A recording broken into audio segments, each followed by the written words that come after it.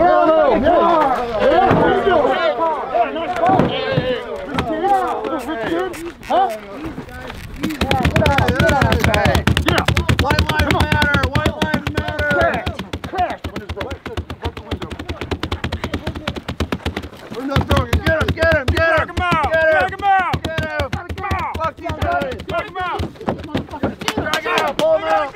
Oh, he's got a gun.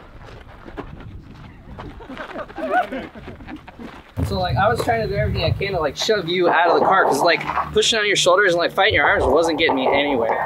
So I went for the face. You split. He's shooting. He presented the firearm outside the window, Yeah, and saw then then it was over. He had the gun. Yeah. The biggest thing I wanted to try to do was just that knowing you had your seatbelt on, you know, when you came into this, first thing you might want to do again, oh, pop your seatbelts. Well, like Yeah. I mean, yes. But I wonder if in that particular situation, someone trying of dragged me out, the seatbelt might actually save my life. And it, and honestly, it gave me more time to try and work and get to my gun because I had the seatbelt. It was harder on. for everybody else to get to it, including yourself. My goodness. If you were going to shoot, how much quicker could you have got? Because If that, that, gonna that shoot- gun argument could have went either way. like as soon as you got through the window, I would have been able to get my gun out. Mhm. You know, if I didn't have my seatbelt on. So I suppose. And they're all just considerations. Yeah. You know, like, like you said, there's, there's a hundred ways to do it. And no scenario is ever going to be the same. I was telling him to drive and get the fucking gun. I tried putting it in gear. But you were reaching over trying to fight him, and we started pulling on your seatbelt, and it, it pulled you back because it was like on your neck. Blocking the windows so you can't you can't drive. You know, we block the windows so you can't see. Right.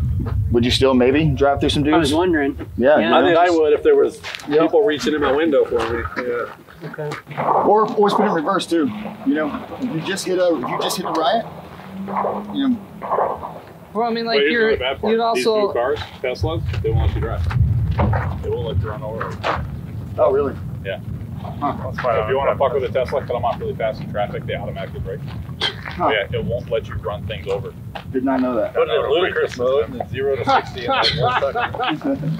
if you're getting to, if you're driving through an area, you're gonna have like four or five hundred yards, and you're gonna see a crowd, right? You know, if you're driving on the highway or like you know a long road out here, you know, like in Gilbert where I grew up, you know, roads were long, and you could you could clearly see what's going on two or three hundred yards in front of you.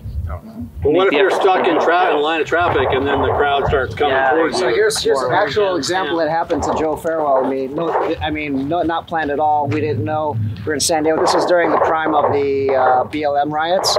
We literally, no joke, we're at an intersection. Let's say this is the intersection where Eric is. We're on uh, this street.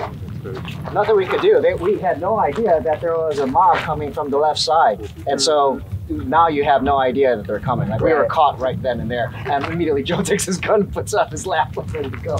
But yeah, it could happen. We we might not be able to spot it.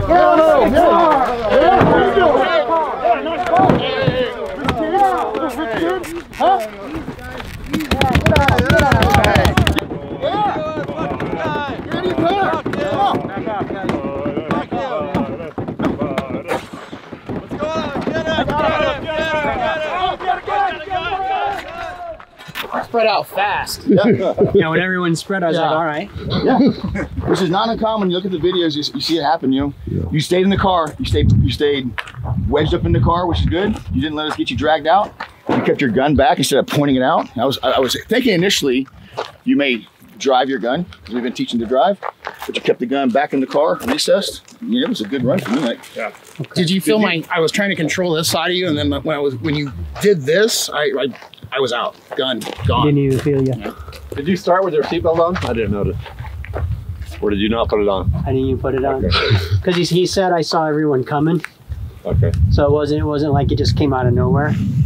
I would do the same thing. I, if I saw that crowd coming, my gun would already I be just out. put it on my I just put it on my lap. Yep. Oh, gun would be out. you, showed, you showed great restraint. Claymore clacker out like yeah. You Here we stayed go. in the car. You didn't let us drag you out. You stayed.